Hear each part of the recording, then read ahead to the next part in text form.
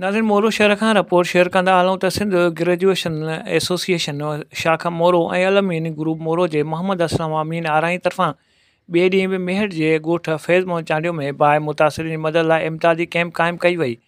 जिते हर सियासी समाजी इलमी अदबी कॉम्पस तनज़ीमुनि शहरनि दुकानदारनि साफ़ हिन समेत हर मकतब फ़िक्र सां तालुक़ु रखंदड़नि खे मदद जी अपील कई वई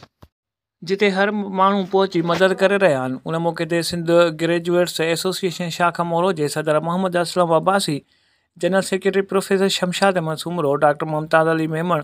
Faqir Haji Nisar Ahmed Memon Qazi Shafi Mohammad Wazir Farhal Sulangi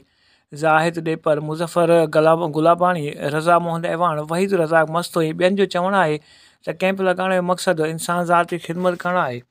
mayor जेको त फेर पहुचाइण जो जे बाहि मुतासिरनि जी मदद करणु आहे